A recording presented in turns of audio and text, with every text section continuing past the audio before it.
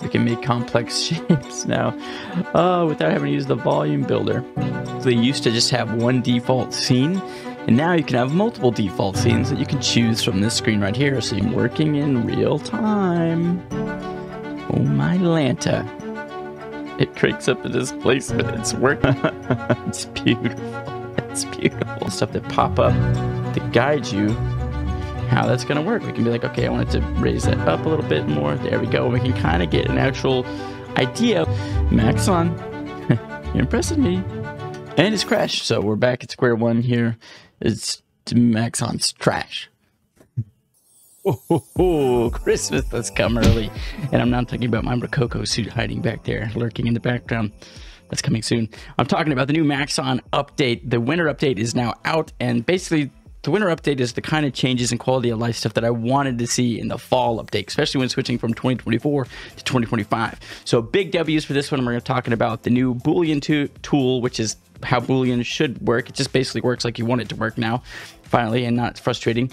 Uh, also, the new improved viewport IPR is actually possibly usable. The viewport is one of the C4D's weakest links uh, that sets it apart from things like Blender and Unreal Engine, which viewports are way better.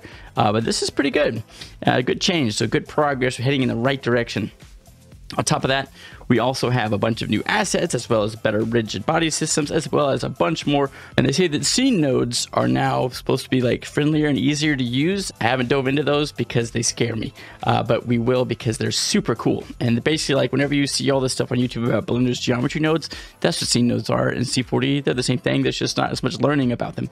Uh, but there are new learning tools, new templates, a bunch of really cool changes. So overall, honestly, it's pretty good and I'm pretty excited about it finally. And we're to put some of it to the test. There's a whole new UI, not inside, so don't get scared, just in the startup screen to kind of help people out uh, finding new stuff, which I think is really cool. So first off, great new feature. You can have templates set up. Basically, you used to just have one default scene, and now you can have multiple default scenes that you can choose from this screen right here. So you can say, okay, today I'm going to make a design, a product shot. So I'm going to have my product shot template or my three point light template or my landscape template, whatever template you need.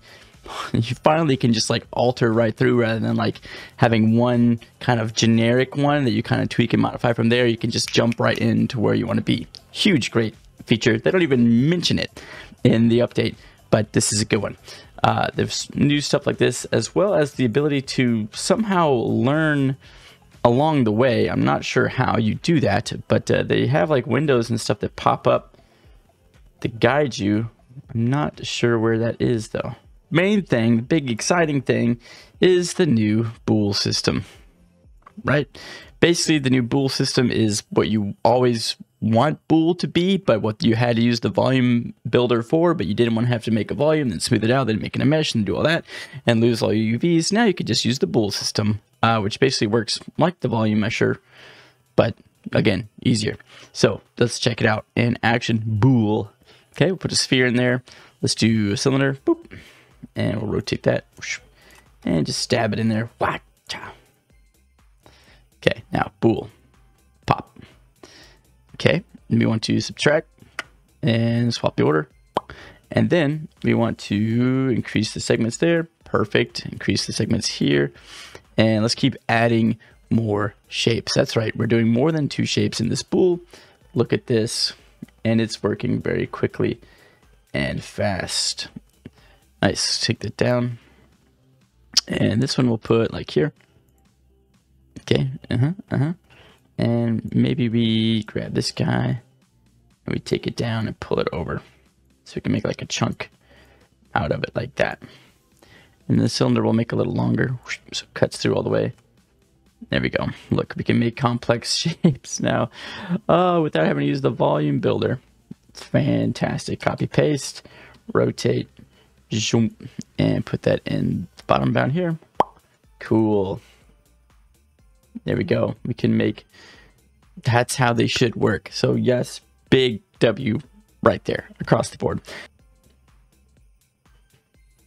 Cool. And it's crashed. So we're back at square one here. It's Maxon's trash. All right, here we go. Back into a new scene.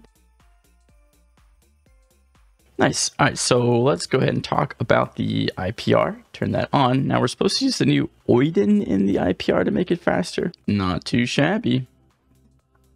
I'm actually impressed. I'm working in real time. Oh my Lanta. It's legit. Yeah, OptiX is pretty solid too. Whoa. Maxon. You're impressing me. I put that on there. Boop.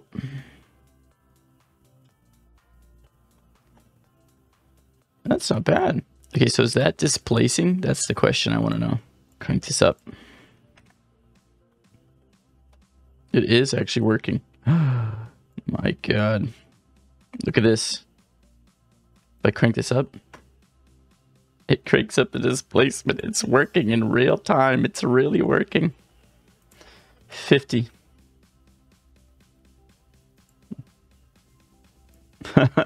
it's beautiful. It's beautiful. I am thoroughly impressed. This is fantastic. On top of that, they made Substance Painters work even better. They don't like get all off scale. New toon shader updates, sure. All right, and then this is cool. Material random material switcher. This used to be a a thing that was available and they got rid of it and they brought it back now, but it's combined with the jitter node. So very cool. You can just swap these material things out very quickly and easily, as well as adding a bunch more presets. A bunch of these like assets and capsules, as they call them, are hidden behind the Maxon One paywall once again, but there's always a couple free ones. Uh, but they are finally you know, basically my faith in Maxon has been restored. I was pretty aggravated by the fall update. The winter update is actually pretty solid. Okay, ready? Go. And go. There it goes. Hey, pretty good. Nice, not too bad. All right. There we go. So you can kind of see while IPR was going, we actually were able to run dynamics and somewhat see it. Not very clearly, but that's pretty good. That's better than it used to be, that's for sure. So we were actually, you know, things are looking up.